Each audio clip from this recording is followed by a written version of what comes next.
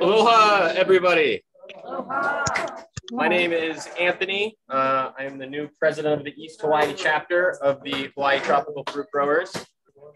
I also work with Ho'ola Farms. We run the Hilo Food Hub and the Hawaii Farm to Car Market. And I'm really happy today to be here with the Farm Bureau and with Ken from Hawaii Tropical Fruit Growers for this presentation. I'm going to kick it off with just a little intro to Ho'ola. You guys aren't familiar, also hello to everyone on Zoom. There's uh, like 70 people from the Hawaii Tropical Fruit Growers group. So hello everyone. If you are not familiar with Ho'ola Farms, please check out our website, ho'olafarms.org. You can find all our other programs. We are running some master food preserver courses this year along with uh, financials for farmers. That's happening uh, starting tomorrow, actually. Uh, we work with Bird and Bee in Honoka'a to do intro beekeeping courses. Um, and we also do agribusiness development, value added products, and we're doing an orchards class uh, in November. So these are all four week classes. The Hilo Food Hub is, is in Keaukaha. It's 555 Kalanianaole, right near the port. And the Hilo Food Hub is a commercial kitchen space for rent. So people that need to make value-added products, they need to do so in a commercial kitchen facility, which if you've ever tried to make one, it takes a while. So you can rent ours and get your green pass from the county and start selling your products. Did you bring your jelly that you made in the last class for everybody? I did not bring my jelly. Sorry. and then we also run the farm to car market, which was started by Hilo County Farm Bureau back in COVID. We took it over, and it is a really great place to buy local produce and to sell local produce. So whether you want to sign up as a producer or a shopper, it's hawaiifarmtocar.org. And there's also little cards out there with QR codes that you can scan and go right to it. So without further ado, I'm going to bring up Megan to talk a little bit more about the Farm Bureau. Aloha kako.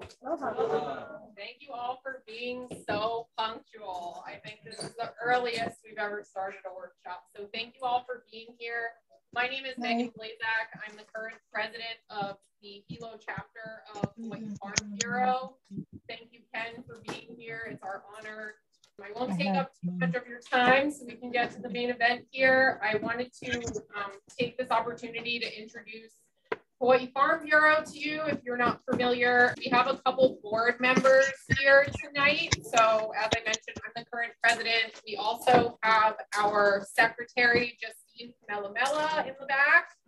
And then Eileen Ye, our treasurer is also back there. So feel free to talk to any of us if you have questions about Farm Bureau Hawaii Farm Bureau, founded in 1950, we're coming up on 75 years of being the voice for Hawaii's agriculture. Our mission is to protect, advocate, and advance the social, economic, and educational interests of our diverse agricultural community. So we help ranchers, we help crop growers, we help beekeepers, aquaculture.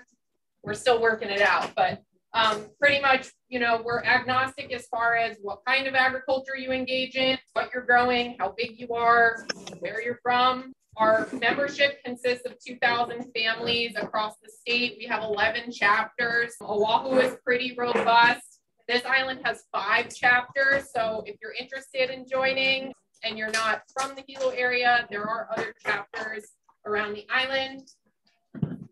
And I I wanted to share a little bit about what we do. The Farm Bureau kind of shows up in a lot of different ways in the community and in the news. And so I think our, our biggest strength and what we're known for is our legislative advocacy and leadership in the political space. You know, year after year, we're at the ledge, uh, we're lobbying on behalf of farmers. Uh, our entire platform are issues that we take to the legislature. They're all crowdsourced from our grassroots membership. You know, big agricultural corporations are not dictating what we do. It comes from family farmers. Uh, this session, some of the, the, the headline issues we're working on, state agricultural lease extensions for multi-generation farms in Panieva. Act 90, if you've been around, you probably know about Act 90. This is a decade long kind of political administrative battle to transfer agricultural lands from DLNR to HDOA. there are active agricultural enterprises on DLNR lands that probably deserve leases under HDOA. Um, it would be better managed under the HDOA. Uh, foreign small equipment agriculture pilot. So we know in Hawaii we're kind of small, but we're mighty. And oftentimes there's foreign equipment from Japan, Italy, that would be really great for our specialty crop farmers, but we can't import it for different regulation reasons. So we're trying to open the doors for more opportunity to do that kind of stuff and increasing meat processing and inspection capacity. So lots of issues, land, water, infrastructure, uh, economic performance of farms, you name it. If it's important to you, Farm Bureau will listen and take it to the ledge. Um, we also publish Hawaii Farm and Food Magazine quarterly. There's some copies on the table. Um, it's really a fantastic magazine. Uh, Farm Bureau also runs several farmers markets around the state. So on Oahu, there's many that Farm Bureau operates. On this island, our only Farm Bureau market is in Kona at Keauhou.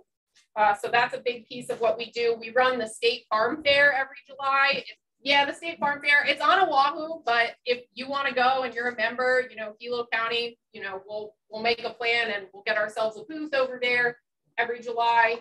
And then farmer outreach and education, what we're doing here tonight, if it's important to you, we want to provide the resources to help you achieve your goals as a farmer.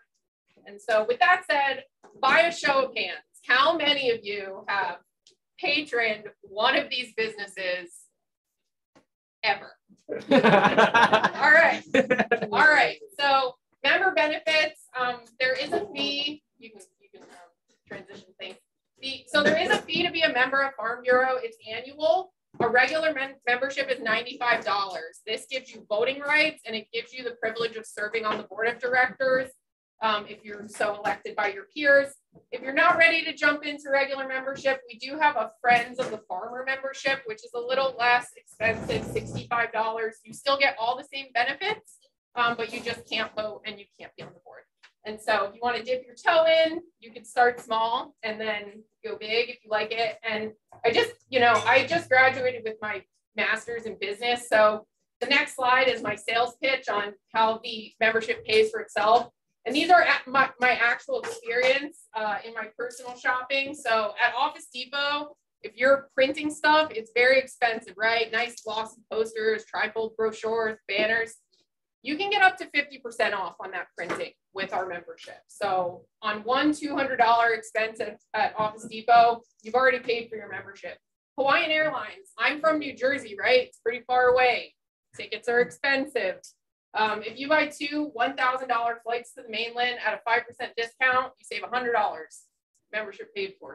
Verizon, I have Verizon for better or for worse. You can get an 8% discount on your monthly bill over you know, over the course of a year, if you have several lines, you could be saving almost $200 membership more than pays for itself, right? So consider joining. Um, it's pretty low investment if you want to be super active, if you just want to show up to workshops, we invite you. There's lots of ways to sign up. Talk to one of the board members here tonight, and then please save the date. Our annual meeting is Wednesday, April 12th. We have flyers in the back. It's open to the public. You don't have to be a member. Um, we're going to be talking about agricultural theft. So it should be a pretty rowdy uh, keynote, but hopefully productive and relevant uh, to your needs. So yeah, I've been in Hawaii for 10 years, so not too long, but I've been following the work of Ken Love all this time. And this is my first Ken Love presentation. So I might be the most excited person here. and without further ado, Ken Love, everybody.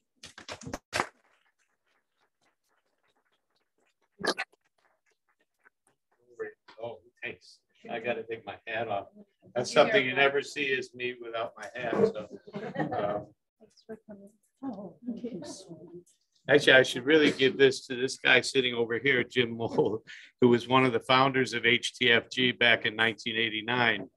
So, thank you for laying the. Uh, it's great to see so many old friends like Alan and Tom, everybody I forget, sorry. Um, oh, where to begin? I don't know. So anyway, I should say something about HTFG. We have 1,800 members and the cost of joining HTFG is $50. So, and uh, we, we have some things like the the best DHL shipping rates in, in, in the country. And we, the reason we have the best DHL, we have a couple members who join only for the DHL rates. And so remember that when you ship your meat out. Uh, the uh, I have all these incriminating photos of the owner, so we got great rates. well, but I mean, he was, you know, it was my third birthday party, and he was two, so that's how long we've known each. Brad, if you're on Zoom, sorry. Uh, Anthony had mentioned Hawaii Master Food Preservers, and I'm also the director of that. We finished the June, uh, January classes. June are the next classes, but it's already filled, so he's already booked in 2024. Paul is a graduate. Anthony barely, no, he graduated. I got to pick on somebody. Actually, it was Danny Thomas taught me how to talk to big crowds. And, and I wound up, he when we got married, this is my wife, Margie, who's been putting up with me for 47 years. And when we got married, uh, Danny at the Sands Hotel, and Danny Thomas is the show, and he, who got married today. So our hands shot up. And the whole two hours, they put the spotlight on us and revolved, the whole show revolved around crazy things that happen in a marriage. And I can understand it after 47 years, right? So um, he, um, years later, I was sitting next to him on an airplane. And I asked, how do you get up in front of all of these people and talk and not get nervous? There's 3,000 people in there. And he says, easy. I just find somebody and pick on them. So Paul, Anthony, Scott on Zoom, you guys are in. So it's that simple. We'll try not to pick on you too much, Paul. Okay, so a lot of you seen some of the posters. Anthony was kind enough to bring all the fruit posters back there. Um, we're having a lot of issues with avocados now, so I thought I'd start with that because there's a lot of people um, trying to decide what to do because all of a sudden there's no leaves on the tree, there's no photosynthesis, the fruit are small and get sunburn or fall off or something. And basically, sorry if I block you guys, just yell at me to move or something, since the camera's following me, but I can't see the thing. It really does follow me. That is so cool. I've never seen that before. Uh, Anyway, so all I can say is if you don't want to spray stuff every two weeks, plant citrus. Uh, it, it's a problem. We, uh, the, the feds have been over every couple of weeks to take tissue samples of about 20 cultivars from my farm, another 10 or 20 from UH and Kainaliu, uh, plus some from the Waiakea station here, the federal station, where there's uh, there's a lot uh, a lot of other different ones that we don't have in Kona. Um, what I'm finding out is that the most resistant one to plant now is Nishikawa. And Nish Nishikawa is, you know, old, well, it's impossible for you guys to see but. How do you spell Ken? Nishi, N-I-S-H-I, Kawa, K-A-W-A, it means West River in Japanese. Um,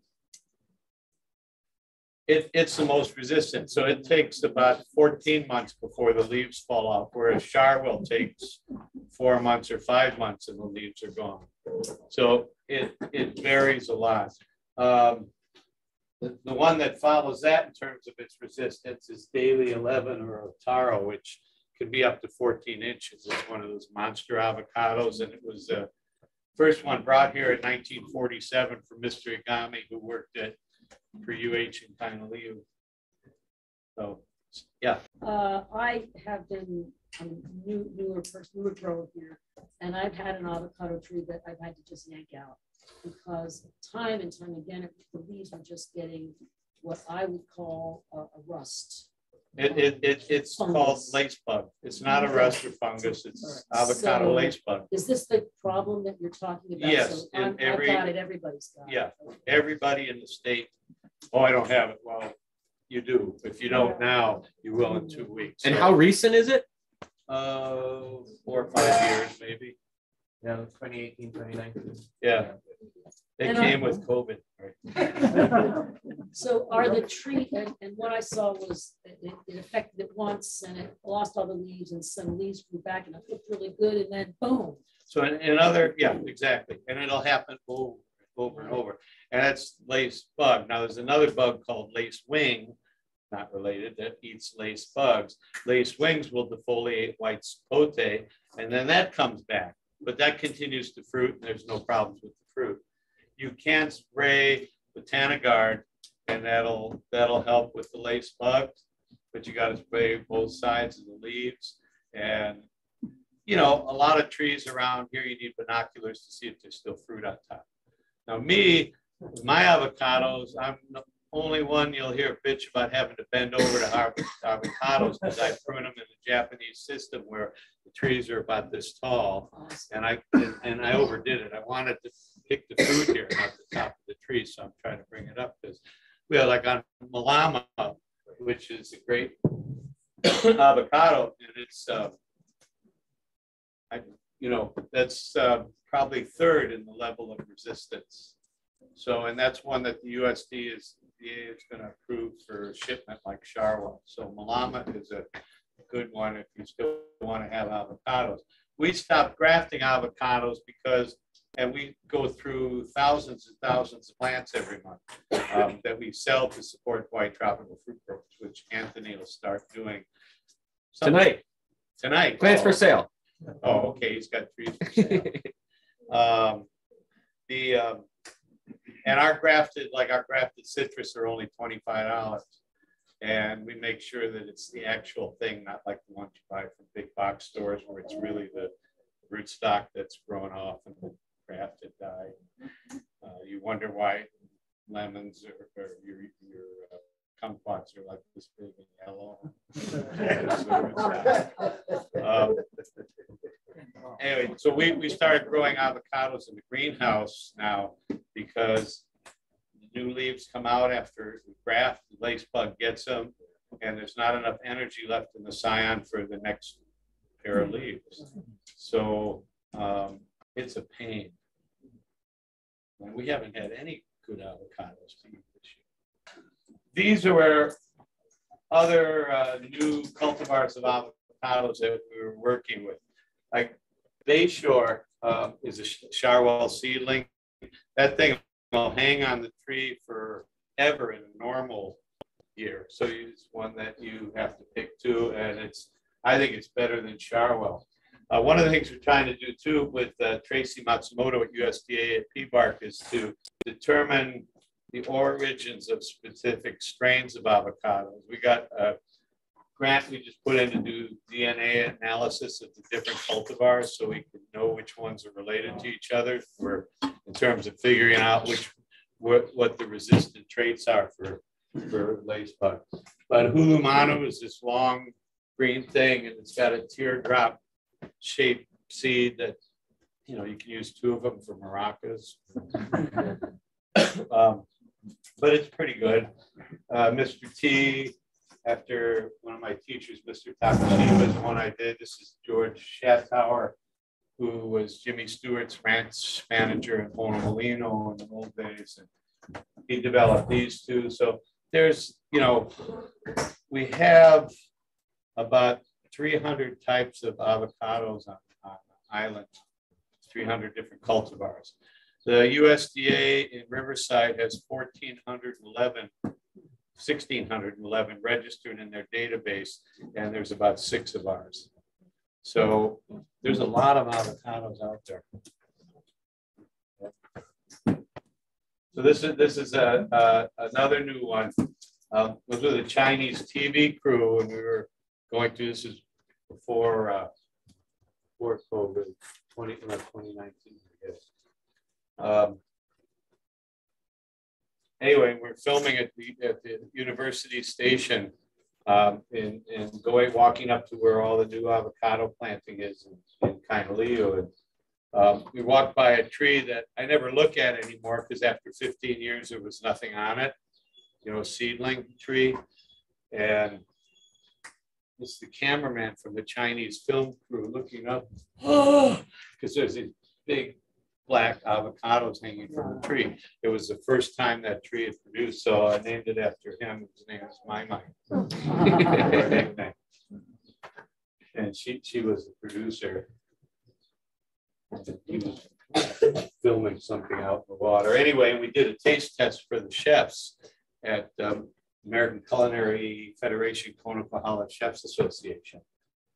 And so we had a lot of uh, out of 10 avocados that we tried that are different from previous taste tests we did. This, I think my my was number three, uh, Kahalu was number two, and the, the, the one they liked the best was called CCLOV.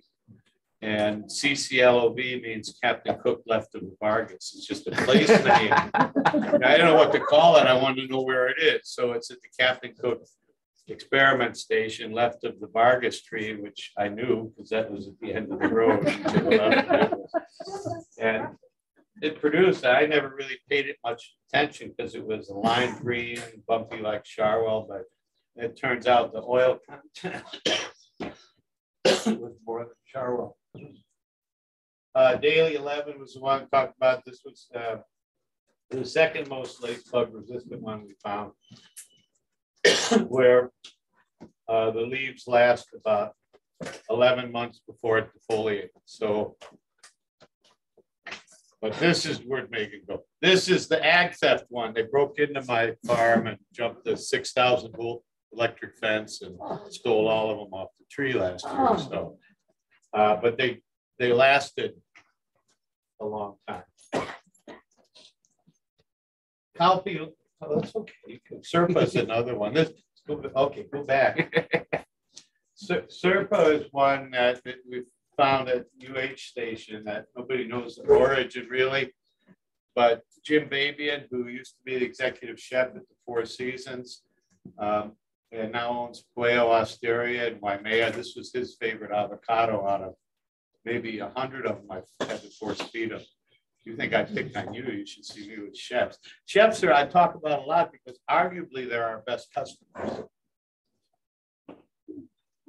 Ken. Yep. Um, you've given us these names of these, uh, lace bug resistant varieties. Um, Where are they available? How can we get them? Um, that's always the problem. Yeah. So um, I would plant nice big fat avocado seeds if you can find them now. And then when it gets about that big, you graft onto it, two, two or three scion on this, on the same trunk. And that'll help keep the tree lower because the energy is being divided into both of them. And, um, You just have, you either have to take one of the grafting classes, we'll have to come over and do that. um, So whatever these you are want. not available commercially or no? Well, They are from, usually we have them, but since I'm not grafting them now, once the, the- we have some like this in the greenhouse, and when they get like this, then I'll cut them and graft them. And the scion, the, the top part of the graft, um, doesn't have lace, lace bugs, only the leaves do, according to USDA, so. Who besides Alan works for the feds? Oh. No, I left that, Oh, I know, I know, sorry. Lucky. Uh, but I've been married forty-seven years too. see? You got more hair than me too. Uh, okay. Um, a lot of times this is called local lemons. You see these trees out in fields and there's just like tons of these. Local, uh, lemons. Some, it's related to Volkamer, which is a well-known citrus rootstock that's pretty popular. And using this as a, it's a great lemon. It's extremely juicy if you can find the tree, and those we have. It's um, a lot of juice and it's a good producer year after year. And uh, it has about eight times the root mass of other rootstocks. So if you're going to graft um, a sour fruit or like grapefruit or something, this would be the fruit rootstock. Sweet fruit, some of it, it's not a great difference, but some of it transmutates from the rootstock to the scion. So if you're using a sour fruit as your rootstock for a super sweet tangerine, you're gonna lose one or two percent Brix. So if you want it super, super sweet, then you would use a trifoliate rootstock like Carrizo, which is the one we, we use. Um, Other, uh, other new types of citlet, cit, cit, Citrus. Thanks. Um, I get nervous because I know Scott's on Zoom, you know. The, uh, all of these things, there's, people think there's no one type of satsuma. It's like, if you ask the average chef that comes to the island, how many types of uh, avocados you think we got?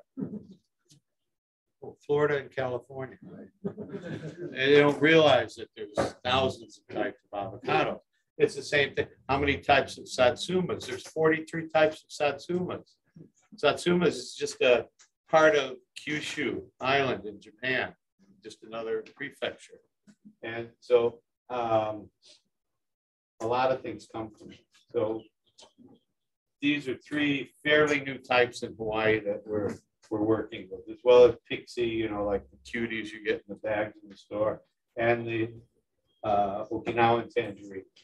Some of the other navels, I mean, it keeps changing. Uh, we have two types of yuzu now.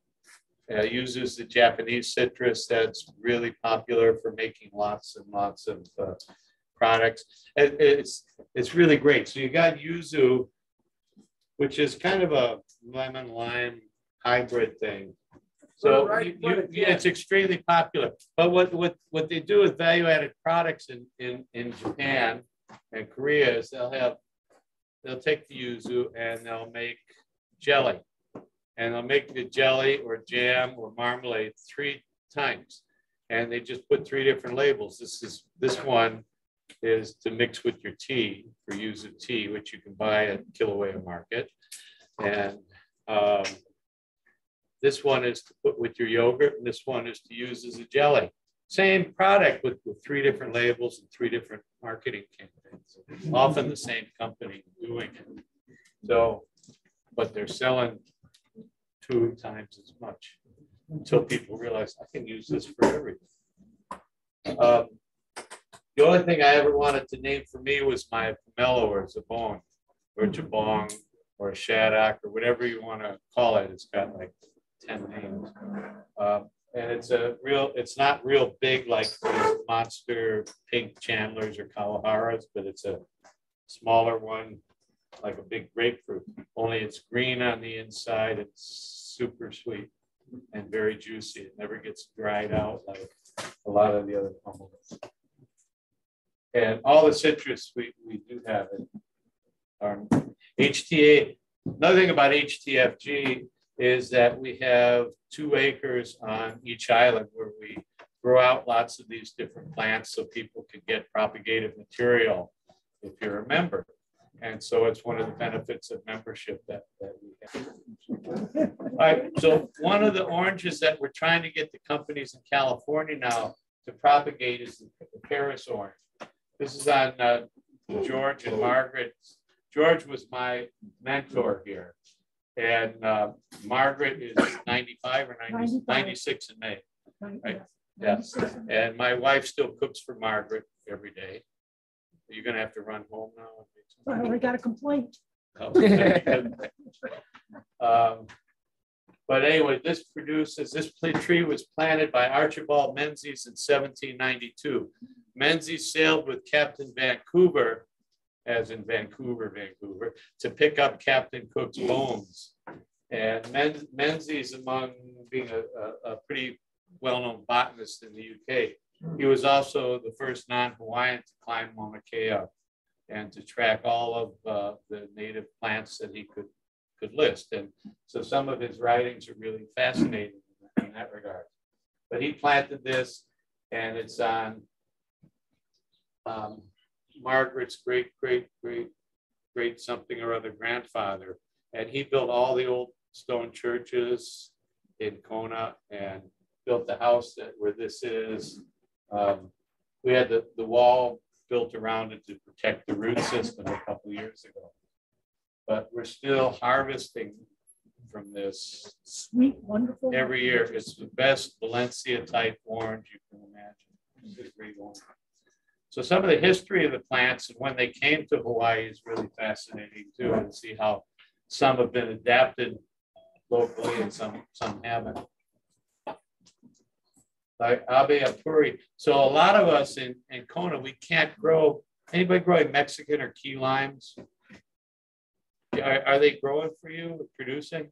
Yeah, They, Not, they, not, not great, but, uh, so they, they, for us, it, they, they die off, you know, before they can produce. I mean, they just can't take the heat. They can't take the, the, the, the rocky, you know, it's, people come to plant something in my place with a shovel and I just laugh. because, you know. Uh, but Abiapuri is botanically, it's the same name, the same botanic name as the Mexican or key lime, but produces all of these great limes like this. And it's the same type of thing. You just, I mean, I have celiac, so I can't drink beer, but when I cut this lemon, I just keep thinking Corona. You'd like them. So a lot of things are, are, are Whoa. different now. that. Yeah, some big Buddha's hands. So people, people ask, what do you do with these at Bushukan in Japanese? Because it goes on the home altar or butsudan um, because the smell is so good. I used to leave them in my truck until uh, they rotted two months later after I forgot about them in the back seat. But they're um, really good. We used to sell them to Kenichi's restaurant in Keauhou Shopping Center because they use the zest a lot. So there's a lot of things you can do. A lot of the old timers in Hawaii would take the fingers, cut them up in little pieces, and and uh, coat them in powdered sugar and freeze it for candy. So if you grew up in the pre-World War II area, that's that was your candy. Uh, Hebesu is another one of the strange Japanese citruses that were growing out. It's kind of like a um, an orange lemon as opposed to Rangpur lime, which is the orange lime. It, um, Shikuwasa is another great Japanese citrus. You can buy canned drinks with this in, in train stations in Japan now. And it's, it's, um, it's kind of orange colored, but it's more lemon lime and flavor. It's like seven up without all the carbonation. So it's a great flavor and it grows mostly in Okinawa and Kyushu in southern Japan. So Anthony, you did bring one of these, right? I did, yeah. I, I was at Foodland and I was like, I wonder how much this sumo is. and I and I and I he asked me how much you think this was, and I said three bucks for one. It was and three dollars and two $3.02, cents. So I'm pretty close. Um, hey, will it follow the sumo? Actually, sumo tournament's going to start in a few days, so I'm, I'm getting in shape again. Um, sumo is actually uh, uh, the, the origin of sumo is Dekopon in Japan. when It's just super sweet. I mean, I hear Minneola tangelo is the sweetest fruit that we really go grow, and um, these in Japan, the Dekopon are sweeter than our Minneolas. The ones in from Whole Foods, not so much. but that it's a sport of Dekopon called Shiranui. And so we're growing Nanko. Yeah, so we hope it to be another year before it can release them, but hopefully at that time we'll have, you know, a hundred of them sell. Problem is if we all grow one or two of these, you know, it doesn't really make a market. So coming your age, you've got to grow hundred acres of it. Get Anthony to help you finance land. Tom's the real estate attorney. He'll make sure all the paperwork's fine. You just got to get to know everybody. But that's how we're going to make a market for Hawaiian citrus. And he's going to buy it all to make mead back there. See, with the black hat on. How's the CTV virus doing? Uh, The which one? the tristeza virus? doing in the Oh, Tristeza or, or HLB? HLB, we don't have citrus greening or long, long bin something.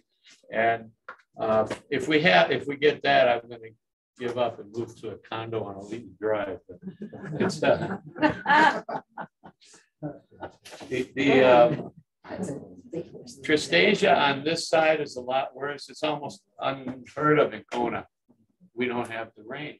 Of course, 2019 was normal for us. We had 32 inches of rain. You get that a week here, right? Right?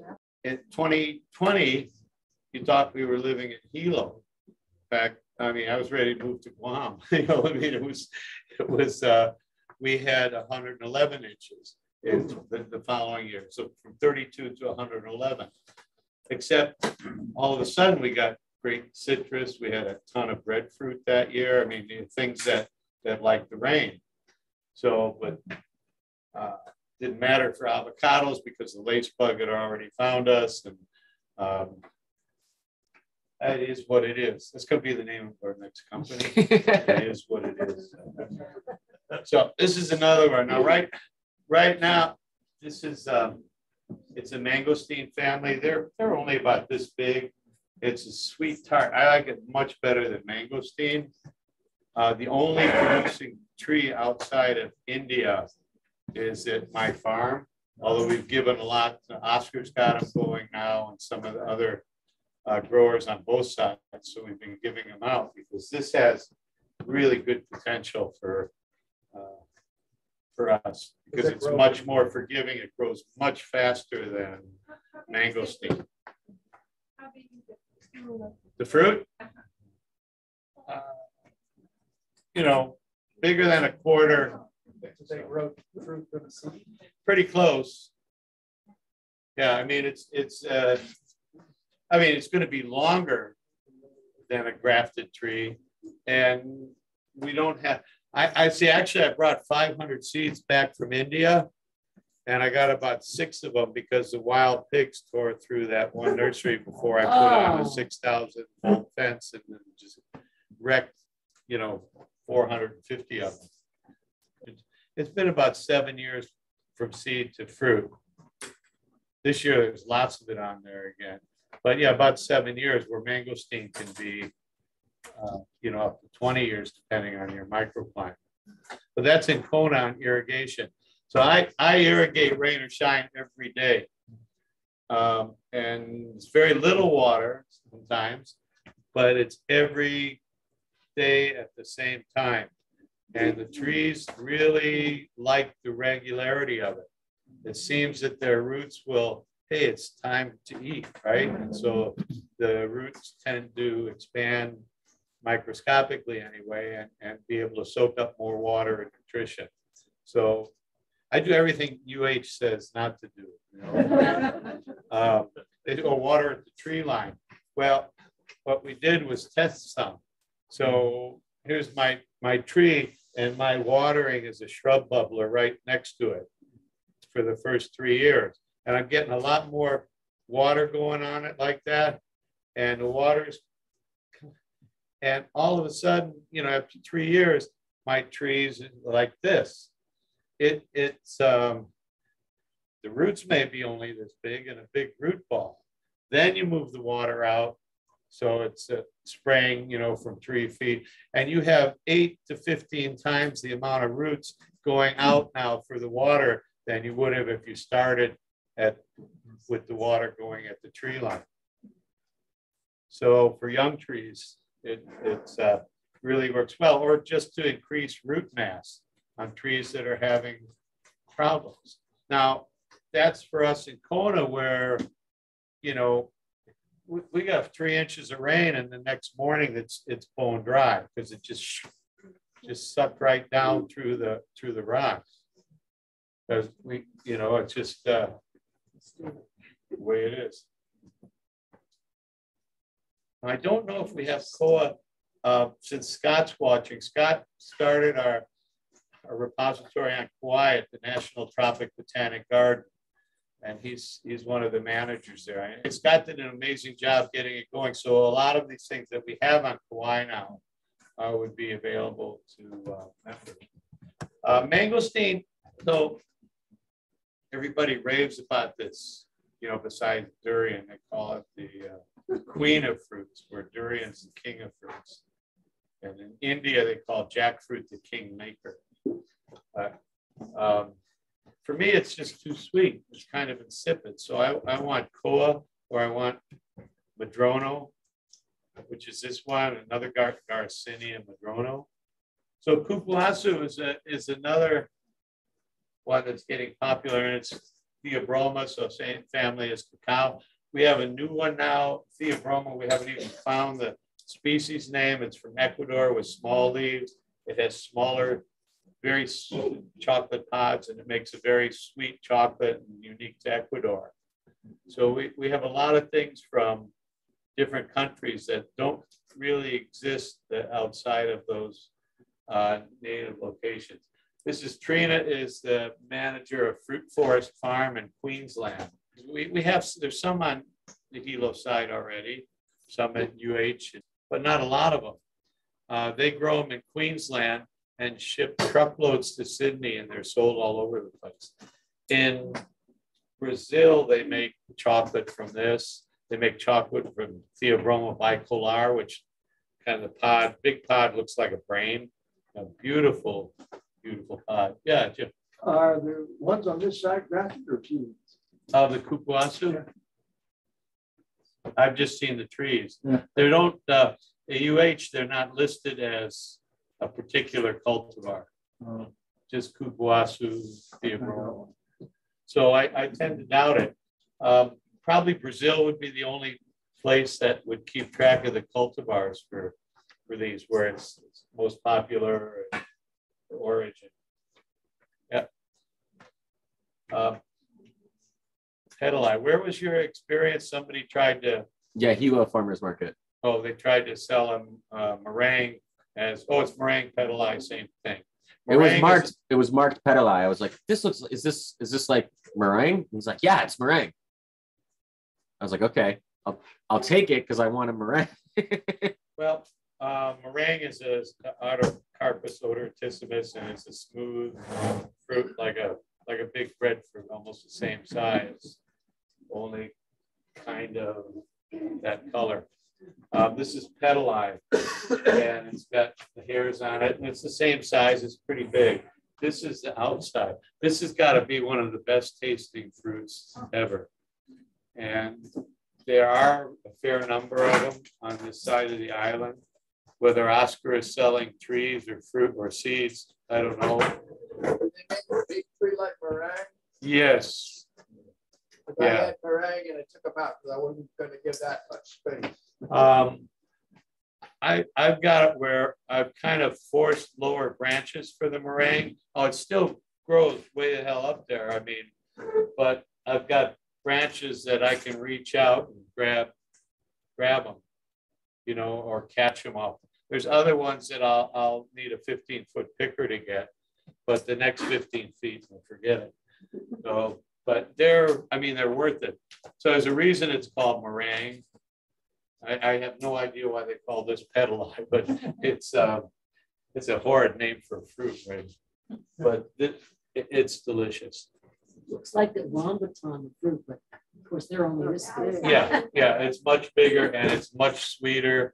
And, and there's little tiny white seeds inside each one of them. Is that what So it's eat? related to jackfruit, right? So you've got a core that grows down the middle and all these carpels are coming off the core. They squeeze out the seed and just, I. Yeah, we sat and ate all of these in a half hour. Here's another artocarpus. Um, Kwai Muk is, um, this is real, this one wasn't quite ripe yet, but it's, so you can still see the latex in the fruit. It's, uh, unique to artocarpus and Moraceae, so it's, you know, distant cousin of fig as well as breadfruit and jackfruit. But this is really good, sweet pink flesh when it's soft and it has, uh, I can't really see them, but little white seeds off the core, but you just eat the, the pink part. And mine are finally flowering again, so thanks to all your rain that you sent us. I gave up on these in Kona. We tried a number of trees. In fact, I can't think of a producing tree in Kona. I didn't have any luck with them over at HVP either. Yeah. Huh? Well, if Deb can't grow it, then forget it then. You can switch. Huh? They taste really good though. Oh, yeah, they're way better than rambutan. Yeah. Yeah. I think, and they're like, you know, hard squeeze toys, you know. The only place I've ever been able to buy the fruit is at the Hua Market at Pam's. At Pam's. Yeah, Mhm. Hamakua probably. Hamakua. Yeah, Hamakua's got some. And actually, the best collection in the world is at, at the, the, uh, at the Federal Repository in Waiakea.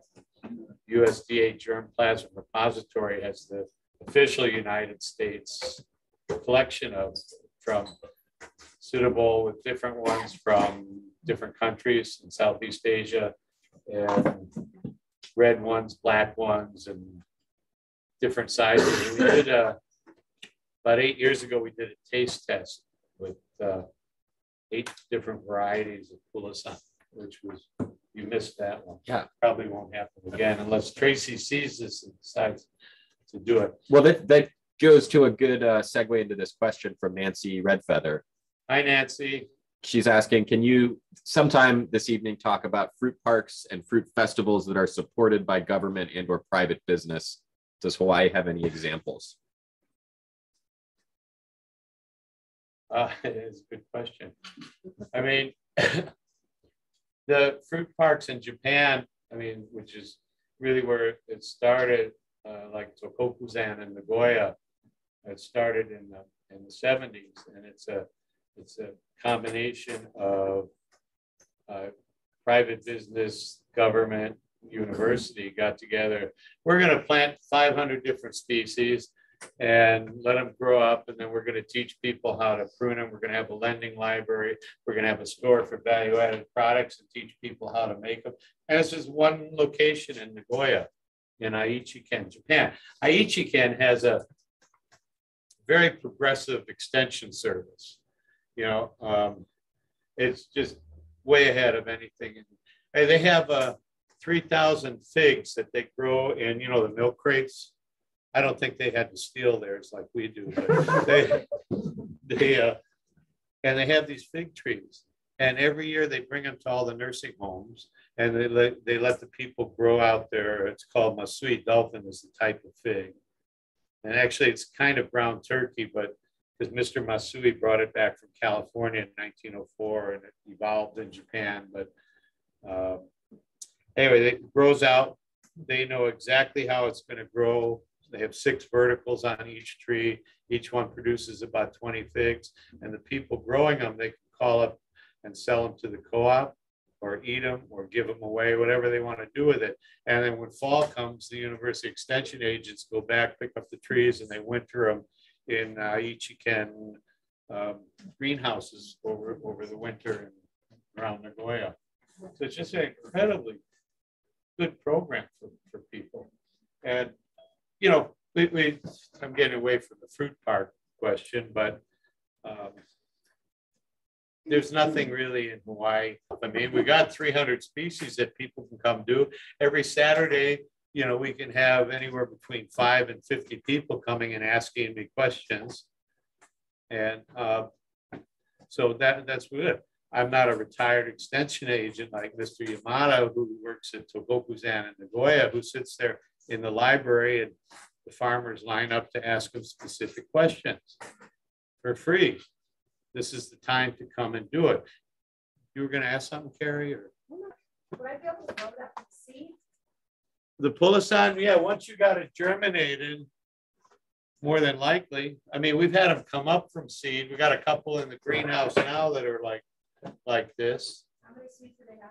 Like? One, no, just like rambutan. It's this is the you know, there's a few the rambutan, What's the flavor? sweet rambutan, sweeter than rambutan, but it's the same thing. Some sometimes the meat comes off the seed, sometimes the testa, you know, that kind of crunchy part that gets caught in the middle of the rambutan. Sometimes it works the same as rambutan. They're very close, only these taste better. At least I've never heard anybody say that ram, they like rambutan better than pulasan. Some, some need male and females, but a lot of the varieties don't need it. they're, they're hermaphroditic, so it's not a problem. And you got probably the best guy in the state here is David Friends, who lives that way about a mile and grafts a lot of these things and and produces a lot of them. Birds and Buds, I think is the name of his his nursery. So if you can get them, Deb, you should be getting them all the seeds from Tracy, the ones that fall out there and planting them and giving them to Anthony to sell for HTFG, you'd have it made. But now I guess we got to. Um, so Nancy, one more thing about the fruit parks. There's nothing that's really started here. We could turn ours into a fruit park, you know, with a little help. You could turn, I've been to your backyard. I know what you got there. You could turn yours into a mini fruit park. Um, a lot of the farms here are, are fruit parks. They just don't have all the components and joint ventures with the companies that produce the value added products. And they don't have uh, affiliation with the university, so to speak. But eventually our repositories on each island could serve that purpose as a, as a mini fruit park where people can come and visit. So um, they already do. I mean, we have two acres inside the National Tropic Botanic Garden that, that Scott put together. And there's, I don't know how many thousands of people a month go go down there to see Diane Ragone's the original Ulu collection in Hawaii and all of the stuff that if you've never been to the National Tropic Botanic Garden on Kauai, it's worth the flight over. Just join the Farm Bureau and you get that discount, right? so, um, but it's that's probably the most beautiful. That's where they filmed the first Jurassic Park. A lot of it there, where they found the dinosaur eggs under the National Tropic Botanic Garden, NTGB. And they have that one there, the Kampong, where was David Fairchild's home in Florida. That's another NT. I think there's three or four of them now around the country, but that one is, is probably the most uh, incredible. Okay. So, Tom, you got to look at the mangoes. There's mangoes. he grows great mangoes. You're working with Glenn. Have you worked with any of these, the Zill ones like lemon zest, coconut cream? Coconut cream is okay, but our golden glow is way better. I like the Nam Doc. The Nam Doc pine. Um, actually, I like Maha Chanok even better, which is came from the same tree that Nam Doc Mai did, only it was a, you know, out of this sport came out and grew something a little different than Nam Doc Mai. Um, this will probably work at lower elevations here where there's not as much rain or up at Hamakua. Um, I know you guys in, in, in, Hilo in the rainy areas always have a hard time with uh, with mangoes. Um, and, and a lot of the chatter and online is, oh, you got to grow odorata or you. Looks late. Nah, nah. Yeah. It's the same as, yeah, you got to be right on the water for that. But then you can grow any of them if you're right on the water. So, um, but people, uh, what's the other one, the little purple one? Casturi. So Casturi, odorata, and Lali Jiwa are three different mango species that you could grow in wet areas. I suggest you buy stock in dental floss companies first. just, I mean, the flavors are great, but oh, God, you're cooking stuff out of your mouth for an hour after eating a casturi. I mean, I like it, but I, I'm gonna next time I get a bunch, I'm gonna. We have a huge tree. I'm gonna take them all and put them through the centrifuge juicer because the flavor is great, but the threads will probably clog up my juicer. Maybe I'll put them through your juicer. so Cambodiana is is one that I had in Florida a few years ago. It tastes like a dreamsicle. You guys won't remember dreamsicle. Do they still make those? Cafe 100 had a, had a juice machine with dreamsicle. No, no, these were ice cream bars for good humor. You're close, right? Sports. Yeah, Yeah, it's yeah, orange and vanilla. dreamsicle at Cafe 100. Okay. Meadow Gold makes the ice cream just like. it. Yeah, but they, they, they- anyway, Cambodiana reminded me of that, of, of, of that kind of orange flavor and vanilla flavor, you know, only it's a mango. And we're, we're just driving along the street in Naples and my friend stopped, oh, that's Cambodiana tree and pick one and I said, you you know, we get shot in parts of Hawaii for picking mangoes. Oh, that's okay. It was- So I'll sit in the car, you can go out there. So anyway, he did, and that was like, so I, I went on a thing about Cambodia. Now Roberto, we finally got some last year and it's full of flowers. Roberto is one that I, I did across um, R2E2 and Golden Glow. And it's named after uh, Roberto Coronel, who was at the University of Philippines and came here often to speak and was, uh, I used to lecture at UPLB there and, and where he was. And uh, I had it after he passed, I had to do something for him. So I was looking for the right mango to name for him. And so hopefully we'll have some of those next year. Anybody up? Yeah. Um, what were the three you mangoes you said were in the wet areas? Um, Kasturi, Lali Jiwa, and Odorata. There is a reason it's called Odorata. It depends. I like durian, you know, so it's, you know, it depends on your perspective. Uh, so this is one prune that Prunus mume or like ume boshi they make in Japan. It's a, there's five species of Prunus mume, or five types, and um, this one is chuo, and it's it's basically it's basically ko, chuo, dai, sumomo, and anzu. The big umeboshi or anzu umeboshi. Anzu is apricot, so it's an apricot plum cross. Sumomo is plum, so it's plum, plum. And then ko, chuo, and dai is small, medium, and large. So chuo from southern China originally, we grow a lot of, and it tastes like a damson if you wait for it to get ripe, you know, darker purple. But like this, it's a little bigger than a quarter usually. And you can um, make plum sauce, plum jelly, plum syrup. You can make anything or just eat them. Oh, there's your Madrono.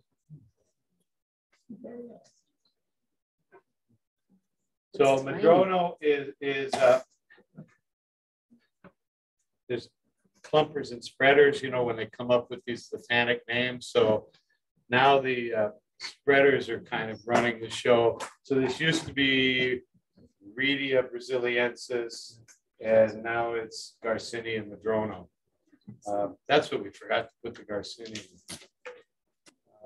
And they keep changing the botanic names on it. Oscar probably has a different botanic name for it. so.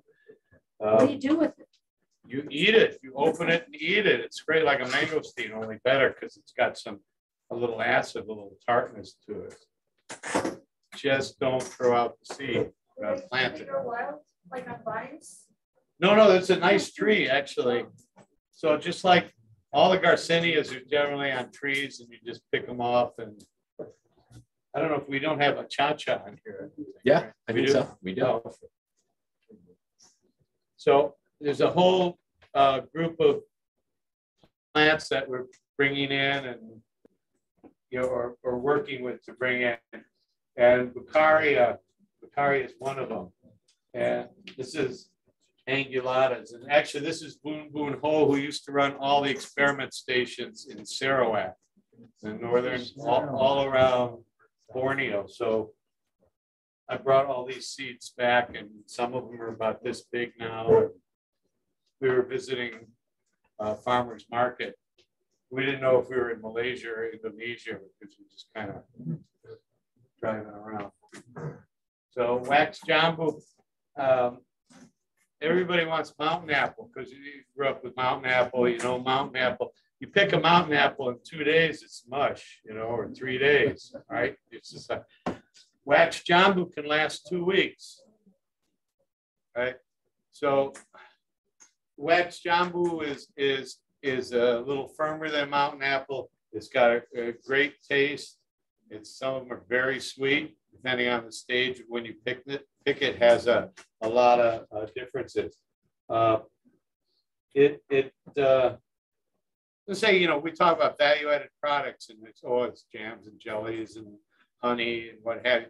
That value added begins in the field. When I pick things that we're going to sell, I pick them and I put them in a cooler box at the base of the tree. And it'll last two or three weeks. If I just pick them and put them in a box and drive around with my truck to someplace else and go pick stuff, they're going to last a week or five days, you know. So same with Cava and Suriname cherry. Suriname cherry, one day, if you're driving around with it in the back of your truck and you don't put it in the cooler right away, the chef buys something from you, they want it to last a week or two weeks, you know, depending on what it is. So it's very important to understand the post-harvest handling of whatever it is you're growing. Even if it's just for you and you're not selling it, you want it to last. You don't want to pick it, go open the fridge in a couple days. Oh man, this is like, ooh. Tampoi is out of all these weird fruit I keep finding in India and Southeast Asia, this is probably my favorite. This is so much better than mangosteen. It's just incredible. You can you can see the relative size of my fingers. You can see the size of the skin around it. Right, the, the skin is going to protect it from stings and larvae things. So it's going to be, um, you know, resistant to uh, fruit fly problems. So there may not be a pest risk assessment. Uh, you can see how it, it, it, it comes off in sections like mangosteen. Uh, it's not a mangosteen, but it tastes a lot better. It's very complex. I can't describe it in conventional terms. You know, you get mainland relatives here and, and, and friends and try to ex explain what what the cava tastes like or Suriname cherry. I mean, it's it's very difficult sometimes to come up with the the right frame of reference. I I've been doing it 40 years. I can't explain this one. It's It is what just it so is. good. It's such a complex flavor. Roll I go- here. Gotta go. Oh yeah. So Go you're back. doing some for us to taste?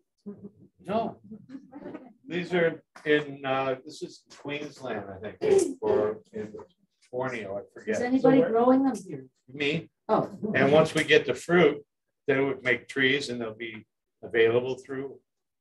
So a lot of times you only need one tree, but when you have more trees, it helps with pollination.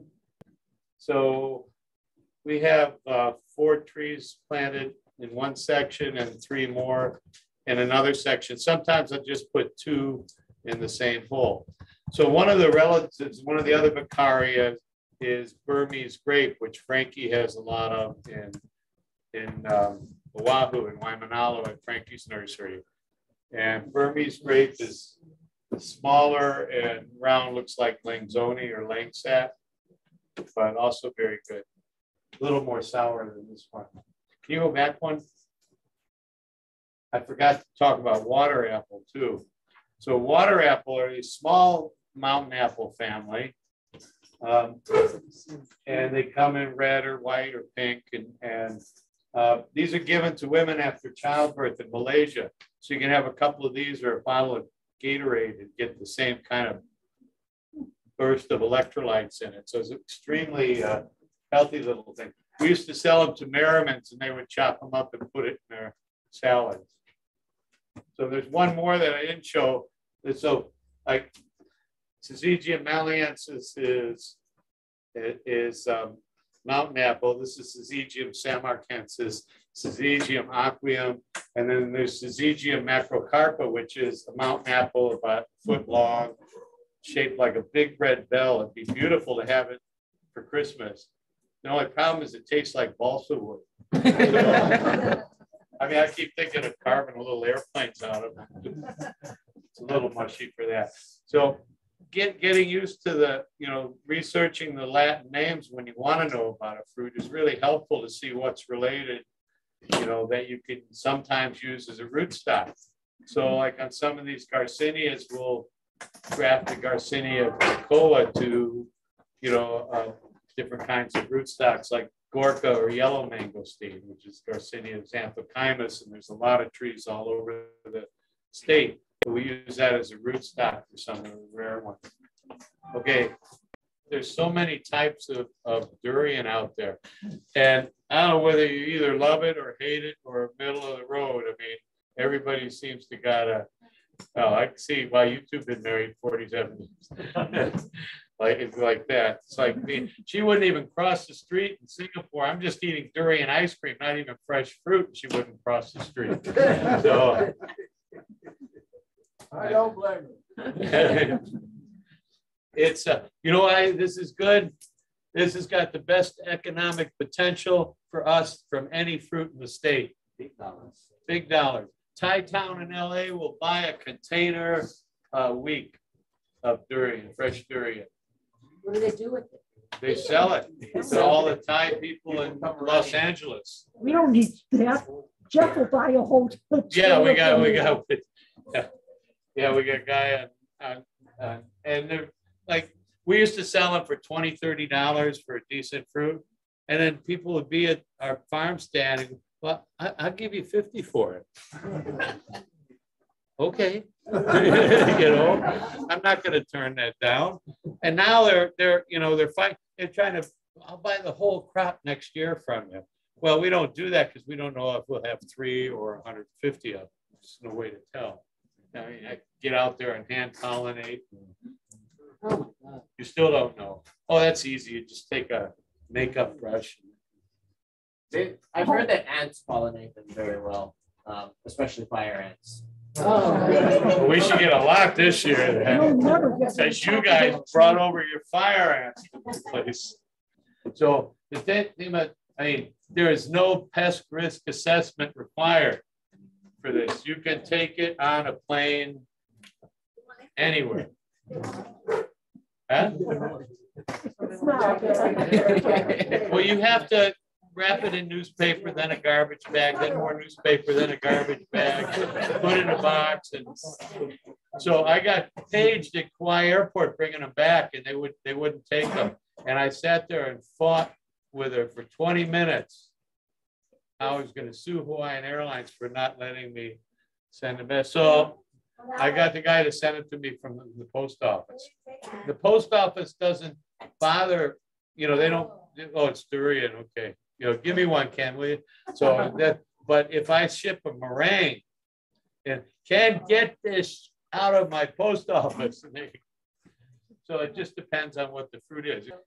So anyway, durian, there's a lot of different types too of durian, uh, different species of durian, like graveolens and Zibethinus and I forget them all, but there's a lot of them. And there's orange ones now and the red ones and all. See, you gotta, you gotta grow them all, man, because they're all slightly different tastes. No, I'm not talking to you, I'm talking to him. He's gonna grow them all, because he's the, the, the, the. These guys are the future, right? Because they're the ones that gotta grow it. And if you grow a lot of them and you, you can, easy to sell. Ulu is more reliable, but durian, Dur- Durian has got twenty times the value of ulu. Pardon?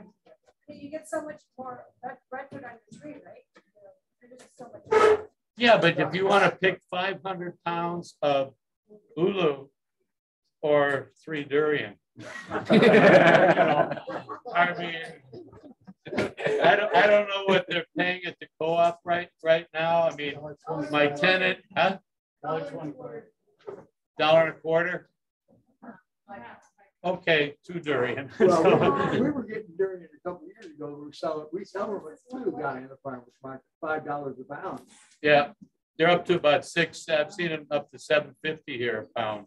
Of course, you know, they think I'm a tourist, so they're gonna charge me twice as, as much, but, um, it's, um, my son used to be, when, when the Naniloa, you know, became the Hilton, my son is a chef, now he's at Fairmont, but he, he, um, back when not, when the hula hulas just started and my son was a chef there and he used to buy all of Deb's breadfruit, right? Two hundred pounds a week. And that's what the average restaurant will, will go through of ulu. So that's, the average restaurant is not gonna be buying two hundred pounds of durian unless you're got Thai food. And then the chefs all buy them. and It's not, it's not a problem to sell them. I mean, it's all the Thais and Southeast Asians and hippies will all buy all the durian. For now, for now, because it's the infant. Well, it's, all- years it's from been now, the, tell me if it's going to be the same way. well, and, and from our nursery, the HTFG nursery, we've gone through and sold over three thousand trees in the last four years of durian trees, How much do you guys charge for your durian trees? twenty-five. A graphic? No, Oh, okay. you graft it yourself or you can take it to Mike and Maya. But if we only grafted, there wouldn't be genetic diversity and we want to find the, all the different grafted um, varieties of durian except for Montong, which I do graft sometimes. Um, They're, they're not any better than the seedlings. Okay. That's All right, in I- nineteen ninety, 1993, I brought back about 500 seeds from Thailand, and a lot of those are producing now, and they're all as, as good as any of the, Any other graphic. Yeah. But they just take a little longer. yeah, 12 years instead of eight, Okay. you know, so. And we have some now that are, are, are producing, last year they produced fruit for the first time, and they're uh, nine years old. So. um, And, and really good. Okay. Oh, here, right. See, I forgot already. Anybody know that, this one? Yeah, because there's, this is, um, my friend has his farm in, in Australia and they have, uh, about forty thousand trees. And it's the largest cha cha growing, they brought a lot of the trees back from Bolivia. And it's actually, Achachairu, and they, they just shortened it, which is actually patented in Australia the cha-cha for marketing. Um, There's no dance music it, probably should be.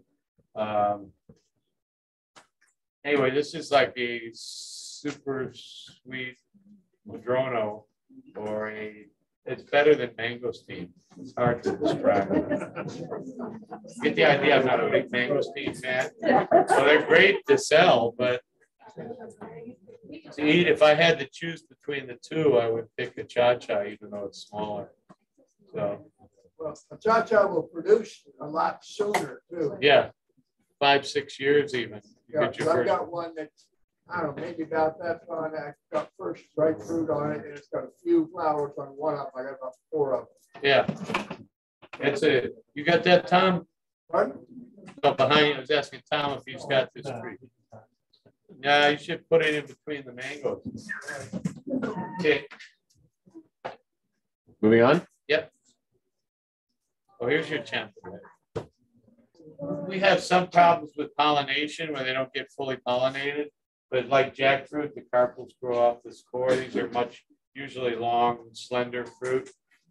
Um, I can't, I think this is Frankie's tree in Waimanalo. So he's got some, some good ones. So it's, it's another, you know, acquired taste Artocarpus one. You you either love it or hate it. There's not a lot of middle of the, the. This one is, smells much more than a lot of them.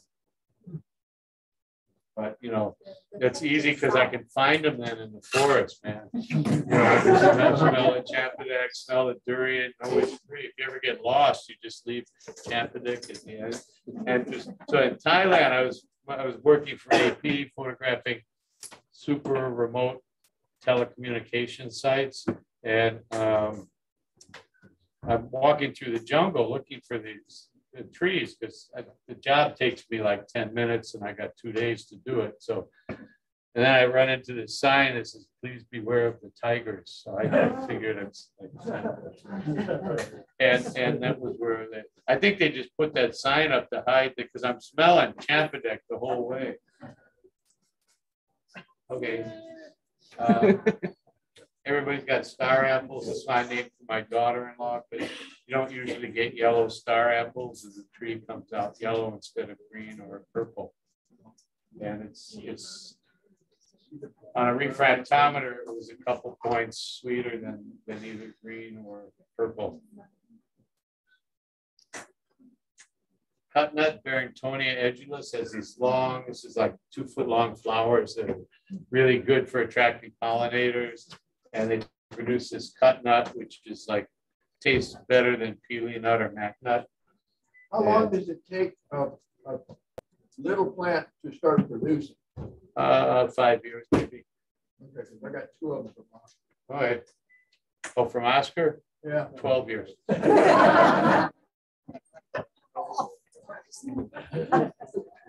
So sea grapes, if you're down there, like most people don't know you can actually eat these. I was giving a, a food tour to the chefs at the Four Seasons. They go, oh, you got sea grapes. And I start eating them and who eat them? They're poison.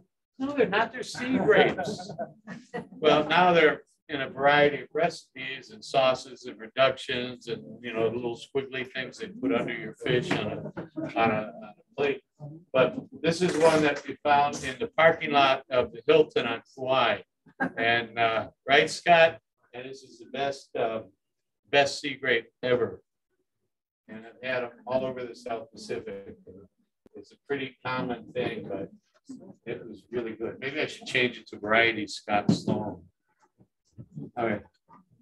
Rollinia, everybody grows Rollinia here, right? Nope, Yeah. they don't like me. Right. No accounting for taste, right? No. So we, Anthony said, you're gonna put the botanic name on? And I said, well, there's two of them. Oh, Said Rollinia deliciosa is one name. And then, you know how um, they have names for, for like custard apple and so sugar apple, like, and this one is called snot apple. So the other botanic name is Rollinia mucosa when it gets overripe because it's just like. Not lemon snot. Yeah, so they call it snot apple. But this is probably a top five of fruit I like to eat. Um, it's, you know, vanilla, lemon, caramel, custard, pudding type of thing, for me anyway, when it's not overripe. Then you gotta kind of do it through a straw. And they're selling for five bucks a pound in the market. What, what are you selling for? Our Berlinian? Yeah. We, we don't sell by the pound, we just do it by the piece and, Thirty on a single fruit before the market. uh, Berlinia, hmm twenty bucks on one Berlinia? Yeah, yeah. And people think I'm nuts because I'll buy a little bunch of grapes in Japan for thirty bucks, but those are Kyoto grapes. Those are the best grapes in the world. So I would not think twice about spending thirty bucks for twenty grapes. I thought twice about it, but I needed it. So jackfruit, one of the places I lecture in India is GK, GK University in, in, in Bangalore, and that's where they have the Indian jackfruit collection. And there are uh, 123 now different cultivars of uh, jackfruit that they're growing in India. Um, and I love it. We make marmalade and they make jackfruit honey. So when you boil the carpels and put the carpels in jars, um, we, we, uh, they have the leftover juice at the bottom. And so we bottle that. It's called jackfruit honey, even though there's no honey in it. Um, we used to make it, we, that and the Indian pickles with the limby and some of our other fruits, and we sold it to the Indian restaurants in, in San Francisco. It was a chain of restaurants called Dosa. Little they know that how the guy in Hawaii is making all their Indian pickles, but um, pretty popular. In fact, most of the um, refrigeration cases you can buy from the jackfruit company. It's a little box, and you can buy Tex-Mex jackfruit mix. You can buy curry jackfruit, barbecue jackfruit, and plain jackfruit. And it's from the jackfruit company that was started by Annie Ryu from Harvard. And she wanted to buy, she called me and she wanted to buy my our jackfruit and keep it in the US. And uh, we just want to start with about 30 tons. I, I don't think I could get you one ton from Hawaii because we're not organized, you know? Um, so I, I put her, stuck her on my friends in India where they, they're, Well, they, they take very good care of me now. Huh? Good. Oh, oh, the seeds are great jackfruit. Jackfruit, we grow um, the breadfruit, Kamansi breadfruit with seeded breadfruit, Red, red nut. Red nut. red nuts, yeah, or, or- or there's a couple types of seeded breadfruit, even though occasionally cross pollinate, so you get a mo- follow with a Yeah, couple we've seeds got in it. monofilament seeds. Yeah, and those seeds are really good. But having celiac, I like to take jackfruit seeds, dry them, grind them into flour. And in- in India, my, my partner's wife was making jackfruit dosa, you know, like crepes from the seeded, from seeds from jackfruit breadfruit. So it, I mean, what you can do with this stuff is just chupa chupa. There's a few here, a few in, in, um, uh, this is another South American fruit kind of tastes like sweet stringy pumpkin, but it's it's really good. These are, this is another one. Uh, you- Garcinia gummi-gutta, mangosteen relative. I I don't want to say the company what it tastes like. When you see this advertised all over the internet, you will lose 50 pounds if you drink this juice. It doesn't work. So, um, but it's a, it's a very bizarre looking fruit. It's interesting and, and pretty and people will buy it. I just don't get enough of them to really get into making value added products with it. It's sour and bizarre enough where it probably would make a good jelly. But I don't know. Just eat it with mangosteen. Yeah, yeah. Uh, Salak, there's a number of types. Anthony, you didn't put that botanic name. Well, he was gonna put Salacca zalacca, because you just like the way that sounds and rolls off the tongue. And I was gonna put Salacca affinis, you know, because some you need male and female trees, some you don't. Um, the thing about Salax is they have thorns, like, well, quite that big, but they're, they can get pretty nasty at the base.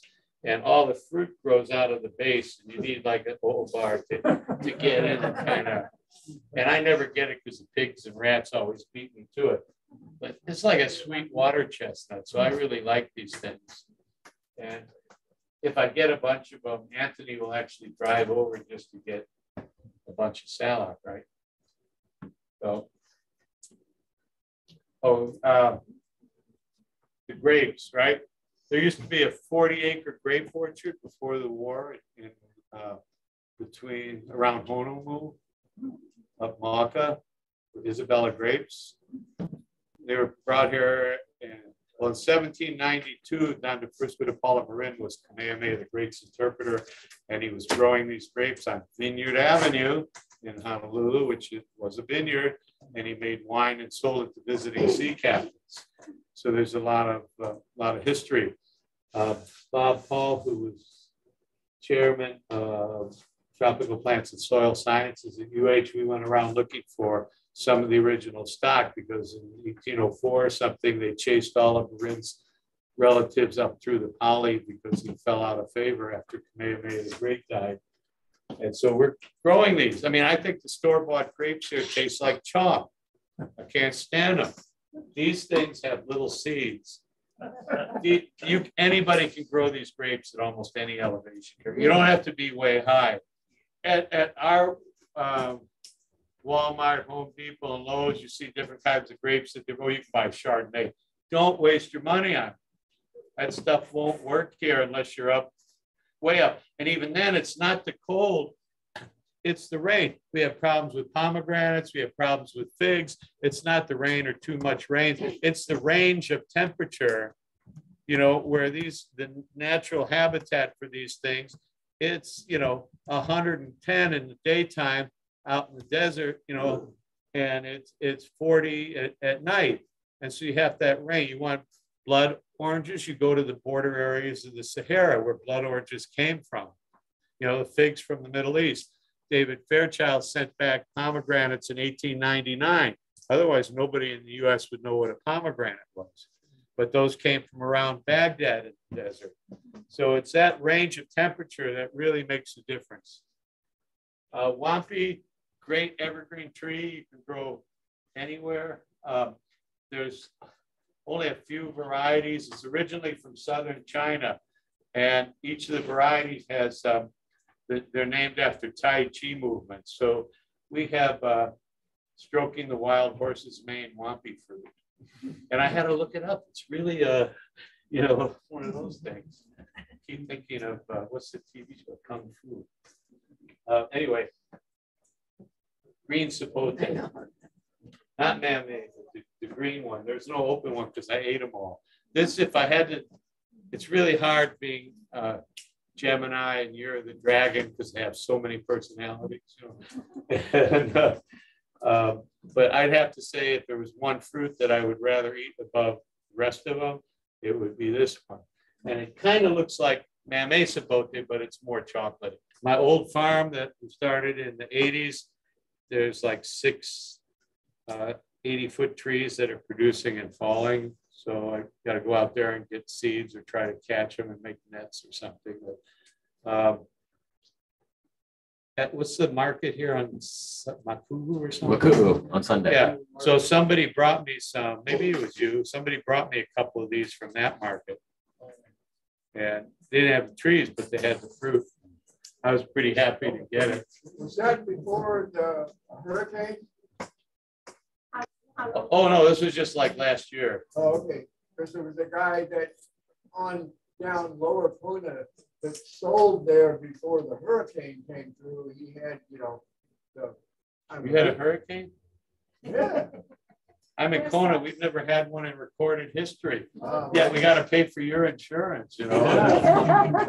He had a, he grew a lot of uncommon fruit, but once the hurricane came through, uh, he decided he didn't, he didn't sell anymore after that. Yeah, I, I heard about him from. Oh, uh, is that, yeah, Bob probably, yeah, they Yeah. still sell occasionally. but, Yeah, yeah, sometimes they're like market, but I haven't seen them there for a while. But you- you haven't about four them. months. Hey, soursop, I just put up a picture last week. We got our first yellow sour soursop. And it's, uh, it's one from Indonesia. And, um, it tastes the same, only it's got like a hundred percent juicier than green sour soursop. So when you open it, I mean, it was just, I was soaking wet. And so it was, it was really good. If you were gonna make juice from soursop, it would be ideal, like you do it. You can't walk into a restaurant in Mexico City without being able to get a glass of soursop. So it's mostly used for, for juicing. So, well, a lot of people now, oh, the leaves are used in cancer medications and popular on the internet. There's so much, there's so much toxic. That's they sent me a paper last week about the toxicity of the leaves. And they know the seeds are toxic, but now they're talking about the, the leaves that people have been making teas from are, was that, that wasn't you, was it? That sent me that? Gary? So, Anyway, somebody sent me last, last week. Huh? Jim. Could be. Okay. So lots of lychee. We're working with different uh, uh, varieties of lychee and egg fruit. So a lot of it depends what, what she's going to sell at the farmer's market, like with, with mamey sapote. If I get a Pantin, you know, mamey sapote, it's like a football, literally the size of a football. If you're a visitor and you've never had mamey, are you going to pay 20 bucks for this to try it? Or are you going to pay five bucks for a Cepeda mamey sapote like that? So I have to think the whole thing through in terms of, of the marketing. Now, if I'm selling to chefs, yeah, they'll like a lot of stuff because they only got to open it once and then they get everything that they need for a mamey sapote pie or something. Uh, Pat Po Hung is a little purple lychee. It's even sweet when it's green, but it's, it's really a nice looking fruit. They all have different attributes. Uh, we grow Kwai Mi, which is more of a classic Asian taste rather than uh, Kaimana lychee, which is very, very sweet, which, you know, white people like, right? But when you get Kwai Mi and stuff, it's the Asians that really go for that taste. And it's very, when you have them side by side, it's very different. Ceylon peach, um, grow a lot of these. And we make a lot of uh, clones of these. Uh, because they're selling the Florida peaches often at the places, but that's on Nemagard rootstock, which needs fourteen hundred chill hours. And some of the need for that chill transmutates to the top of the thing, so you, you kind of have to really read those little tags sometimes. But if you get Ceylon peach, you just take a stick and put it in the dirt and it'll eventually root. And in two or three years, you'll have your own little peaches, which the old timers use for pickling. They put it in a bottle of shochu, pickle it, make jam with it. Yeah, they're terrible. I love them. You just haven't had a good one yet. But you ate all of mine. didn't? Oh, I had one or two. Do you know anybody here growing Aradan Lee lychee? Uh, they're massive. Oh, that's the emperor, I think, is the other name for that. That's, Yeah, there's a like that. lychee like that, yeah. Yeah, we have, we have one tree and it's every five or six years. The lychee's notoriously irregular anyway, which is why people girdle the, the trees sometimes. If you go to OK Farms here, you look at their, their lychee grove and this is girdled one year, and you can see where this is girdled the next year. And to help, you know, stress the, I'm gonna die, you know, and then start pumping out flowers.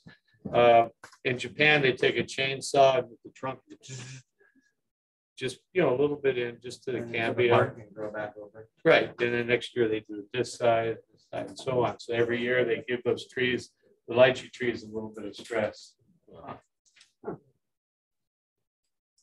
I love these things. Yeah, Anthony's got finger limes, Hey, all right. picked by Marty, of course. Yeah. stolen By Anthony. from my friendship.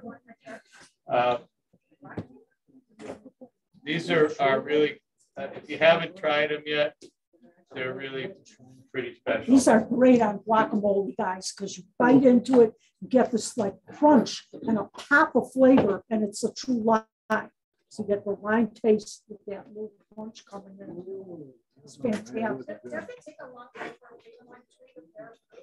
No, they're like doing terrible. and they're so prolific. Oh my God, grows year round. It's never stopped growing. Um, Ray is probably, or Davidsonian plum, this is probably Anthony's holding the plant up. Little. There's a bigger one in the box. And there's another one that'll be for sale.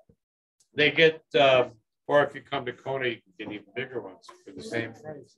So we, it gets about forty inches across and it grows straight up. And there's literally, um, this is not a lot. We've had some where the one, one year it was so loaded with fruit that the whole top broke off in the winds. And, you know, my son said, the tree died, it fell off and can't get over it next year. That thing was back and producing fruit. It's that stress. They like stress sometimes, you know, I gotta fight back. Like every time I have a heart attack, I gotta fight back. Um, these things turn purple, they're very sour. Chefs went nuts for them. I can't describe the flavor. It's totally different from anything. All the chefs at the Four Seasons, huh? It's sour. Yeah, well, I'll get there. That's how my hair fell out. It's, uh, it's very sour, but chefs love to work with them. She sells syrup and jelly as fast as we can produce it at the farm, at our farm stand. And, um, it's just, uh, uh, there are cave paintings. This is probably the first cultivated fruit. They talk about lychee in China being the first, going back eight thousand years. There are cave paintings in Queensland that are sixty thousand years old of Ore. So it's, it's been around for a while. And O- Ore or Ore is the Aboriginal name. Davidson plum is the English name and Davidsonia pruriens is the botanic name. Yeah, that's right. This is our greenhouse, which is actually finished now. It's a quarantine unit, has fifteen feet of concrete all around it. And we can bring stuff in when I get around to writing permits from anywhere in the world and almost anything, including new types of citrus and, and uh, problem is it finished just in time for, for COVID, so I haven't really been anywhere since, since then. But, um, that's the, the six thousand volt, uh, fence. So we had, uh, seven cows got below this, um, sixty abandoned acres of mac nuts. I mean, pig farm down below us here. And off to the side, there's a small cattle operation and seven cows got out, trampled through everything and uh, bit trees, you know, trees like this, they just bit them in half to get at the leaves. And they pulled this, I can barely close the gates, these yellow handles, but they, they cows it right through it. The springs were out like, like that. But the guys, who they were when we found, he found out he was apologetic, he was over there every night, every morning trying to, until he got them all. Okay, That's it. I think so. Oh, yeah, keep going. yeah, that's it. Where's the fruit? Now you can get rid of it. See you guys on Zoom. Thanks, Scott. See ya.